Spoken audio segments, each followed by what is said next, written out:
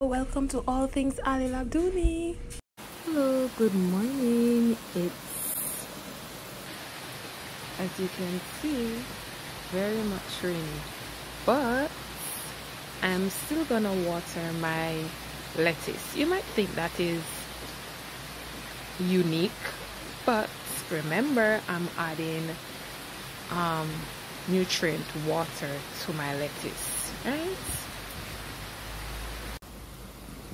So the soil is very much moist which is good. And this is fall